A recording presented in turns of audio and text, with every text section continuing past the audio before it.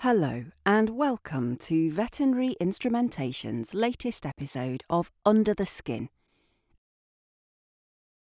a videography series introducing key devices used during orthopaedic surgery. In this episode, we will be focusing on a staple of orthopaedic surgery the VI range of bone holding forceps and fragment forceps. So, let's go under the skin. VI offer many different styles and sizes within this range, meaning that a surgeon will find a device suitable for every patient and every clinical scenario. In this session, we will look at the most common types.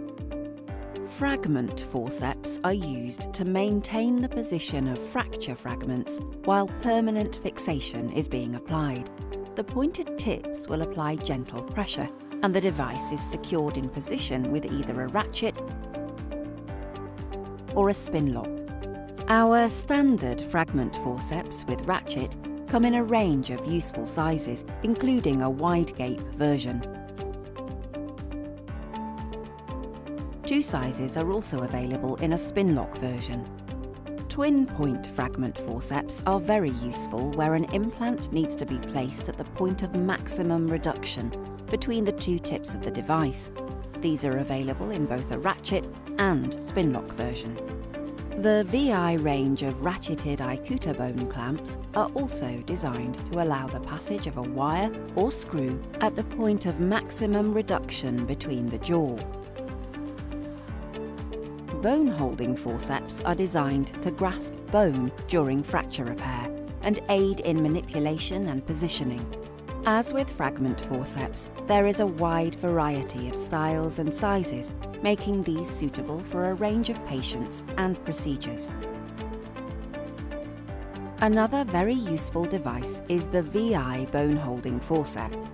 The jaws are contoured and serrated for excellent grip, and the design of the jaws allows placement of drill bits, pins, wires or screws through the centre. The VI range of small serrated bone holding forceps are ideal for smaller patients or for the smaller bones of larger patients, such as the metatarsals or metacarpals. The contoured serrated jaws provide excellent grip without crushing, and with their sharp tips, these may also be used as fragment forceps.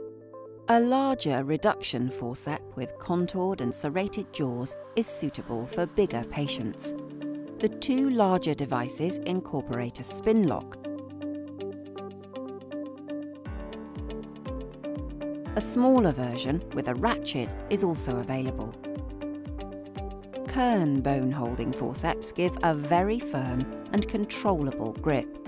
The ratchet at the base of the handles is designed to allow a quick release, and the square jaws can aid accurate handling of bone fragments. A kern may be particularly useful during hip surgery, and these are available in three sizes.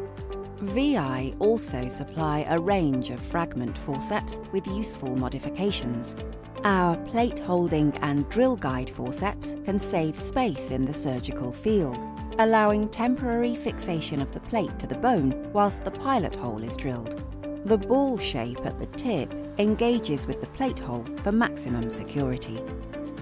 Our reduction forceps with wire guide allow for placement of a wire, either temporary or permanent, very close to the point of maximum reduction at the tips.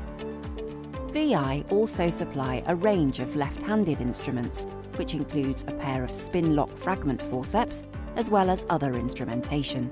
Our left-handed instruments are identified with their single black handle. This presentation has covered VI's most popular lines, but other bone holding and fragment forceps are also available.